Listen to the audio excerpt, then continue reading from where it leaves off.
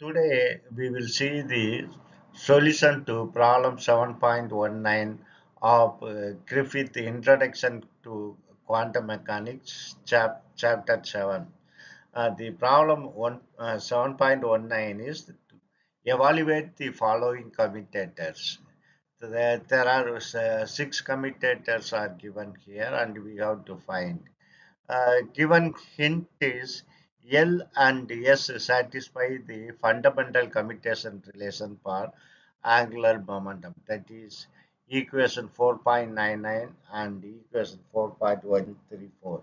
Uh, both are well known to us. Equation 4.99 is related to commutation relation of the angular momentum operator L, Lx, Ly, Lz. We know it. Similarly, the equation 4.137 is related to spin angular momentum, commutation relation of uh, pin, spin angular momentum. So using this relation, we have to find the uh, other commutation relation. We will see one by one. We will solve the commutation relation one by one. First, we will take part A, that is commutation of L dot S with L. So L dot S, uh, S can be written as Lx S, Sx plus Ly, uh, Sy plus Lz, Sz. Uh, see, remember here we have only X component, Y component and Z component. Uh, because it's a uh, dot product, uh, same component of L and S exists, other will be 0. Uh, so here uh, L component contain three. Uh, L contain three component Lx, Ly, Lz. So first we will take Lx. So now this uh, we can split into three commutator. Uh, that is uh, first one Lx, Sx uh, commutation with Lx. Uh, commutation of Ly, Sy with Lx.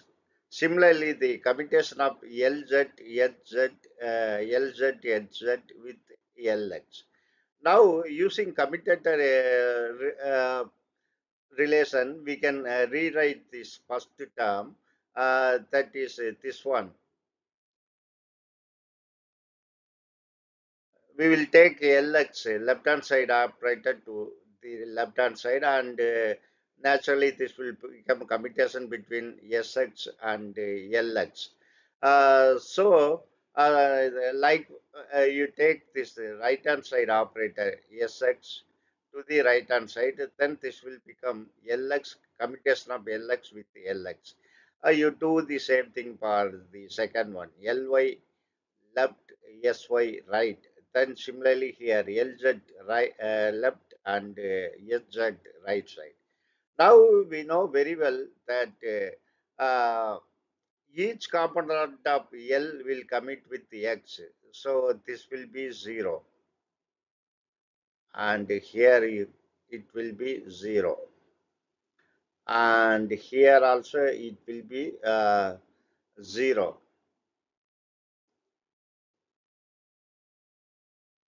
And uh, only the uh, and also here Lx commute with Lx. Remember that. Second term also will go to 0. So only these two terms exist.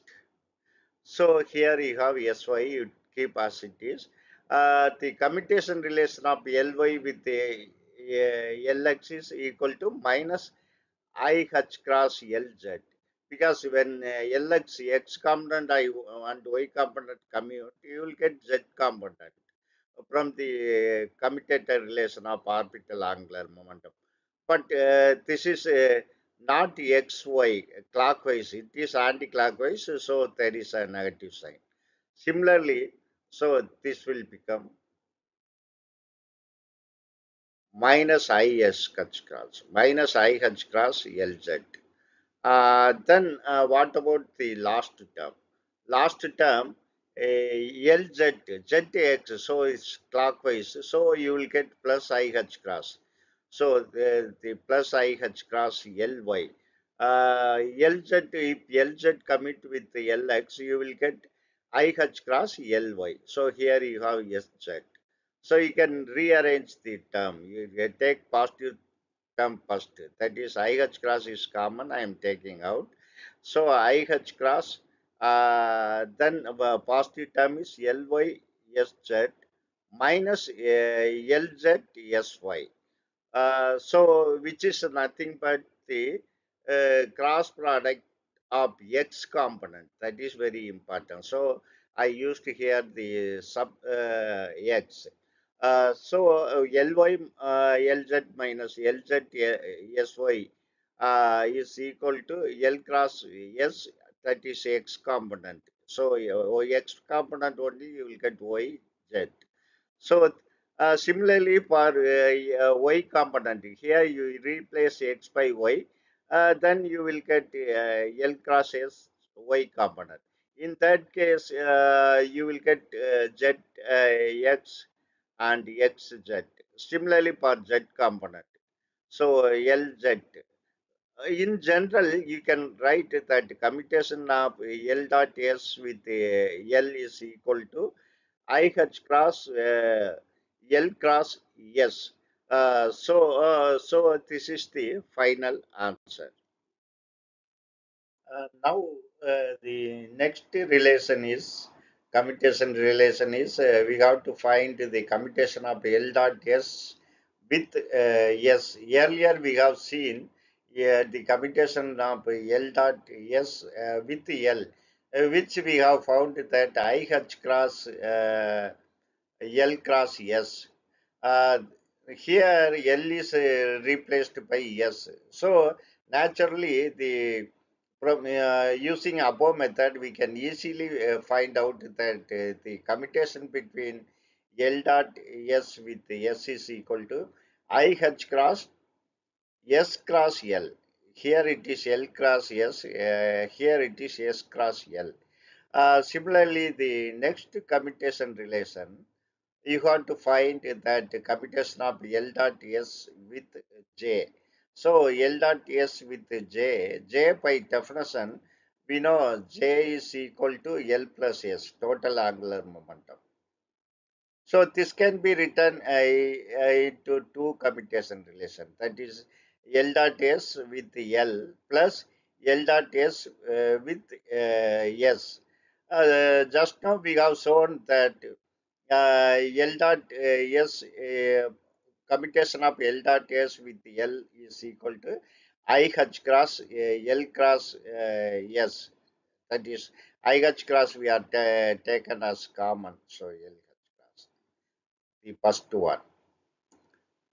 The next L dot S uh, with S, L dot S with S is equal to IH cross S cross L. So this one. IH cross we are ta taking as common. So this is equal to S cross. Uh, so L cross S, S is equal to, uh, sorry, S cross L is equal to minus uh, L cross S. So both will get cancelled. This and this will get cancelled because both are in opposite direction. So this will get cancelled. This will become 0.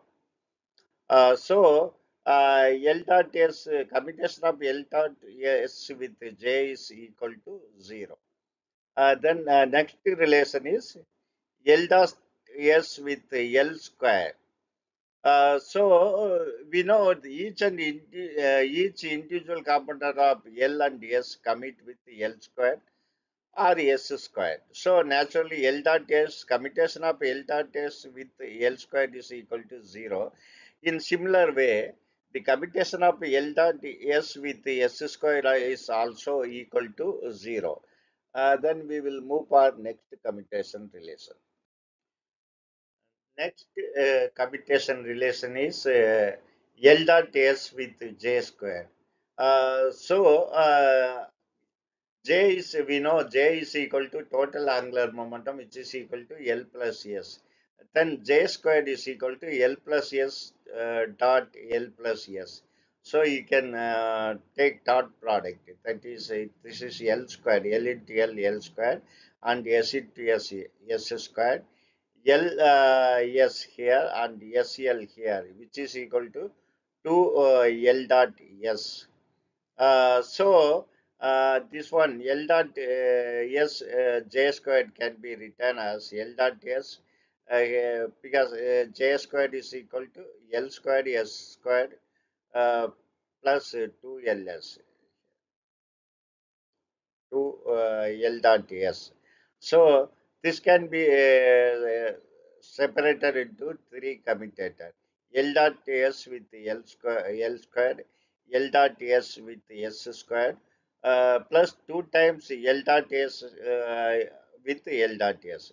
So here, you know, uh, this uh, uh, L and S will commute with L squared. All component will commute with L squared. This will be 0.